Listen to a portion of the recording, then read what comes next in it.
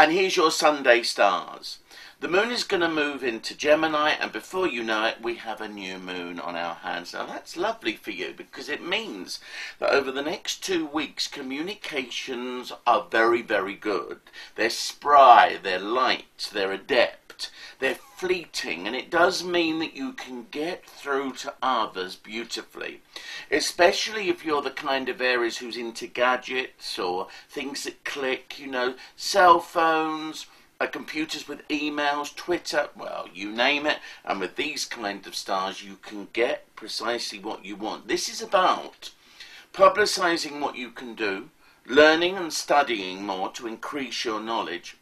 And also travel is very good. So if you're thinking of going away even for a short while, business, pleasure, what have you, You'll be networking even if you don't know it. I suggest that over the next couple of weeks you're going to impress someone with your words, with your actions, and as a result of that, it could well lead to some kind of proposition or opportunity. So get out there.